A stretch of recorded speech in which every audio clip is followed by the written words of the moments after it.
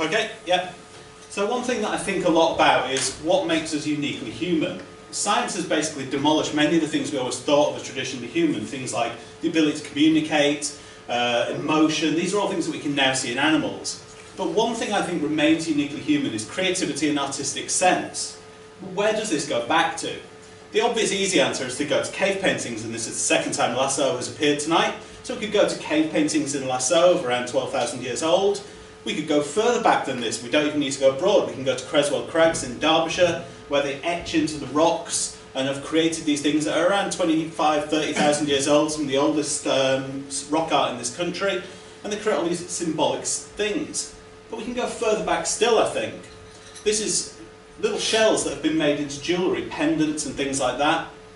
What's particularly interesting about this is that this isn't Homo sapiens that did this. This is Homo neanderthalensis, another species of human engaging in artistic, creative practices.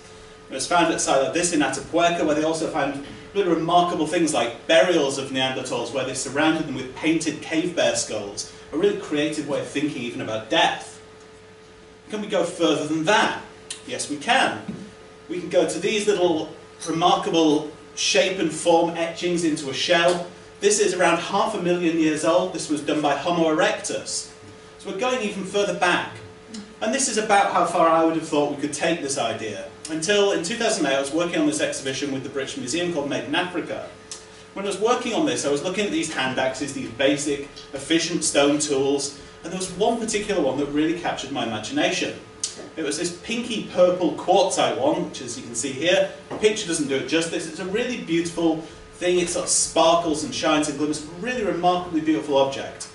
But the interesting thing about it is, functionally, it's crap.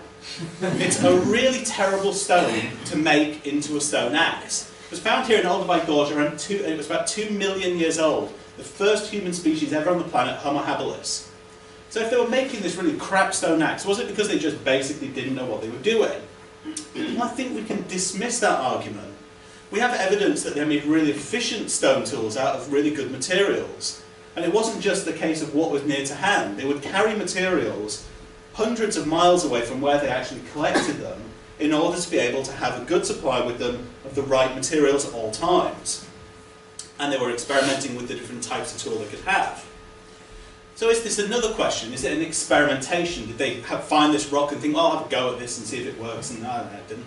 Well, again, we can dismiss that. One, it's kept its shape perfectly, so they haven't actually been knocking it about too much, as you can sometimes see with some of these sort of things. So they've kept it as it was. And again, they've transported it hundreds of miles away from where the source of the rock is. So they're thinking more about the object.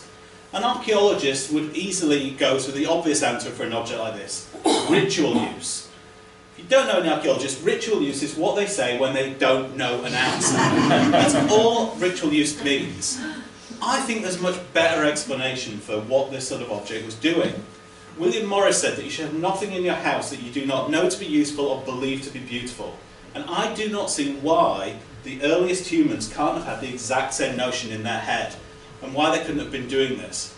As a species, we have taken the most basic elements, the most basic needs that we have, shelter, which we could perfectly well live in a cave still. Instead, we create these really elaborate, ornate rooms to live in. Food, a really boring, functional thing that we've dressed up, and we've gone for this notion that the first bite is with the eye, and we make it as pretty and lovely and wonderful and interesting as possible.